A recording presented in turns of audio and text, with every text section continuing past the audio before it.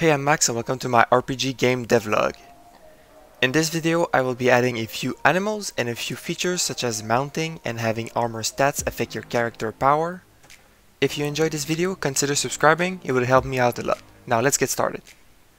First, I wanted to add animals to my game for the overworld. I actually plan on having a sort of dark dimension on top of the overworld that you can switch between and this dimension would have supernatural creatures like demons, but for the overworld I needed some normal animals. I was about to go model, rig and animate a few, knowing that it would take me a few weeks if not months to make them all. But thankfully, I remembered seeing on Reddit a post about free animal models, and I actually found it again.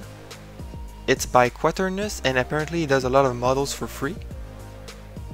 I downloaded them and changed a few things like the materials and the shading, but overall they were already really good. So thanks a lot to this Quaternius guy for giving out free models. So after changing a few things with them, I imported them into my project. I also saw that Quaternius had posted a bunch of other assets, so I looked through them and decided to import some weapons as well. Once imported, I had to make the animation blueprints for each animal, it was pretty easy to do when the animals are not moving, they cycle through the idle animations, and when they move they go from idle to walk to run if they go fast enough, and when they die they go into the death animation and then stop. I then had to set up some AI for the passive mobs. I made it so they walk around randomly and when they get hit they start running around randomly. I might add to it later a little bit such as to make the mobs run away from the player because if they run randomly then they can run towards the player which feels very weird. But for now I guess that's okay. Next I made the animals drop meat, later I plan to let the player create a fire and cook it and then cooked meat will be eaten to regenerate health faster. Once I had done setting them up, I had deers, stags, alpacas, cows, wolves, foxes and horses, so quite a few animals. Once I was done with the animals, I started working on a little tooltip to show when you could pick up something and what you would pick up. Then I added a rarity to items, so white items are common, green are uncommon and blue are rares. The items with a rarity above common will have a little light under them while they're on the ground. The tooltip of the item also shows the rarity and changes color based on it. Obviously the more rare an item is, the more powerful it is. But for now, what you have equipped does not affect your damage or anything. I will do that at the end of this video. Next, I made a basic merchant NPC that lets you sell things in your inventory and buy whatever that merchant is selling. The merchant model is not finished yet and of course he will be inside a building, not just out in the open. You can sell items to him for some copper and then use that copper to buy items.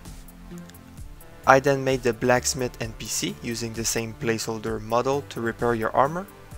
So while you fight enemies, your armor gets damaged. You can see the durability left on your armor in the tooltip. If it reaches zero, the armor piece will become useless and will not affect your stats anymore until it is repaired. That means players will have to be careful to repair their armor often because if it breaks while they're fighting, they're going to be in trouble. Repairing an item costs copper and it costs more the higher item level it is and the more damaged it is. Next I tried adding a horse that you can ride on, but accidentally created the Colossal Titan from Attack on Titan apparently. I fixed that and had a decent horse riding experience, except the fact that my player was running inside the horse, so I added a little sitting idle animation, fixed a few bugs, added a jump animation and it was pretty good. The final thing I had to do was to make the player's equipped items give him stats like power and defense that will affect the player's damage, health and more. For that I had to calculate the player's total stats based on his level and all equipped items.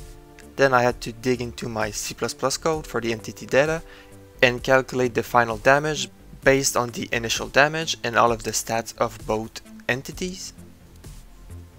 Up until that point I was using Unreal's damage system to handle the display of the damage, but now that I had things between the applying damage and receiving damage, I couldn't do that anymore.